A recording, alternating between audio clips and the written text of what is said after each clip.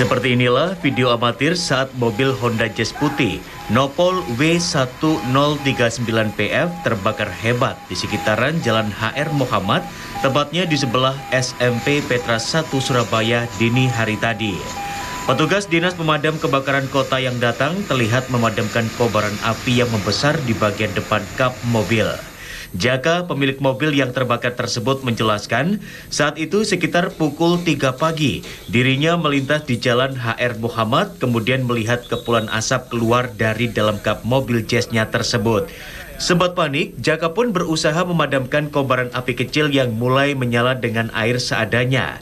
Namun tak selang beberapa lama, api semakin membesar. Bahkan sempat terdengar suara ledakan dari dalam kap mobil. Jaka pun hanya bisa pasrah melihat mobil yang baru dibelinya sebulan lalu terbakar. Kapolsek Duku Pakis AKP Anggi Saputra Ibrahim mengaku lega lantaran tak sampai ada korban meski sempat terdengar ledakan dari mobil tersebut. Pihaknya juga sudah berkoordinasi dengan tim Inavis Polrestabes Surabaya untuk dilakukan proses identifikasi. Dari hasil identifikasi diketahui ada dugaan korsleting listrik dari sekring mobil. Nanda Andrianta, CTV.